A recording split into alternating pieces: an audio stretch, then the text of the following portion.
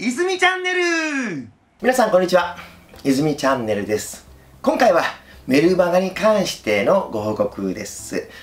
以前もお伝えしておりました、えー、メルマガに関しては今年の10月ですねスタートしたところでありますが、えー、早いもので、えー、回数を重ねてまいりました、えー、テレビドラマではありませんけども13回の回数をもちましてシーズン1としては一旦区切りをつけたいと思っておりますので、まあ、ぜひですね、えー、まだの方でご関心ある方はご登録お願いしたいと思います、えー、メルマガのですねタイトルは、えー、泉佐穂の何でも OK と。コンセプトはですね、激しいキャッチボールと銘打っていまして、どんな球でも投げてください。どんな質問でもくださいねと、えー、それをしっかり受け止めて投げ返しますよと。で、加えて、私の方からも質問、ボールを投げていきますから、投げ返してくださいねと。キャッチボールしましょうと。それを思い切った形で、剛速球とか、えー、いろんな変化球などもですね、お互い投げ合いましょうという形で、メルマガをスタートしました。私にとっては初めての経験でありましたが、大変多くの、まあ、いろんな意見や提案もいただいて、勉強になっています。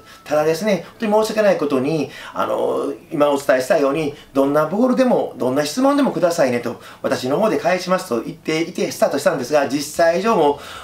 びっくりするほど多くの質問をいただきまして、まあ私も一生懸命回答しているんですけど、追いつきません。あの、いただく質問に対して、あの、すべてがすべて、えー、返せるわけではなくて、ほんの一部にとどまっていますので、もう溜まる一方で、質問がどんどん溜まっていく状況の中で、私としても本当に心苦しく思っていました。ああまりにもちょっと大風呂敷を風呂ケースしすぎまして、どんな質問でもください投げ返しますよと言ってしまった関係で、まあある意味、あの、ご質問いただきながらお答えできない方については申し訳なく思っております。そういうことも含めましてですね、一旦区切りをつけて、もう一回仕切り直して、シーズン2として再スタートを切りたいと思っておりますので、まあ、テレビドラマではありませんが、最初のシリーズの一つ目のシーズン1は、えー、この今年の12月末をもって一旦区切りです。毎週ですね、えー、金曜日の正午に配信をしております。で、結局、年末の13回目をもって一旦区切りにしますので、ただまあ登録いただければ、まあ、その月については、あの、すべてご覧いただけますし、まあ、せっかくの機会ですから、少し、あの、一緒にキャッチボールしようというお気持ちの方、ぜひご登録いただければと思います。またシーズン2に関しましては、まあ、今回のですね、まあ、ことを踏まえましてですね、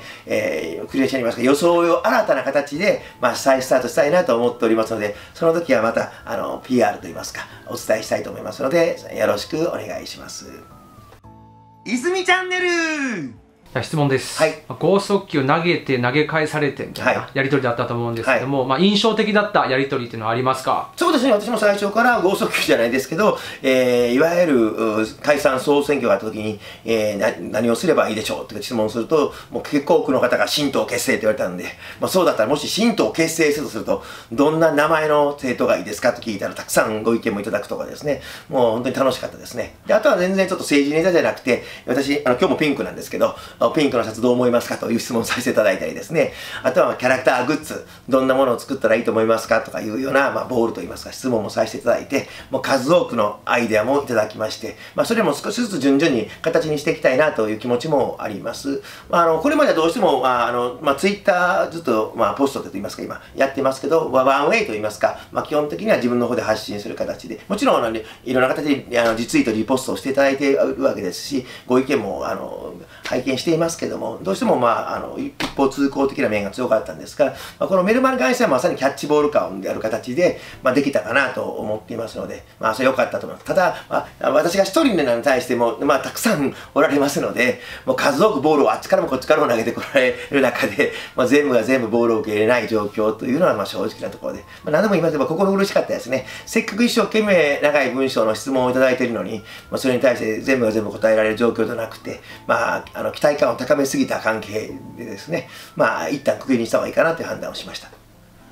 最後に、えー、まあ、答えられる範囲で、あれには答えたかったんだけど答えられる時間と余裕がなかったなっていうのでいやでも結ね答えさせていただいてまあ自分としては順々に答えさせていただいてますし、えー、まだあのあの終わったわけじゃないのであの最後までですねあの全速力で走り切りたいと思っていますし、まあ、特にあの思い入れの強い、まあ、それぞれに思い入れの強い質問ですけどもあのやっぱりあの、まあ、この質問に答えなきゃという思いの質問もありますのであの最後まであのしっかりと答えていきたいと思っています、はい、であとは、まあ、あの今回はメルマガでしたけど、まあ、今後もですねいろんな形で、まあ、発信ツールといいますかいろんな形形はあろうかと思いますので、自分としても引き続き試行錯誤はしていきたいと思っています。まあ本当に今の時代便利ですね。いろんな形の可能性がありますので、まあいろんな可能性を引き続き、まあ、探っていきたいと思っています。あのよろしくお願いします。ありがとうございます。楽しみにしてます。はい、チャンネル登録よろしくお願いします。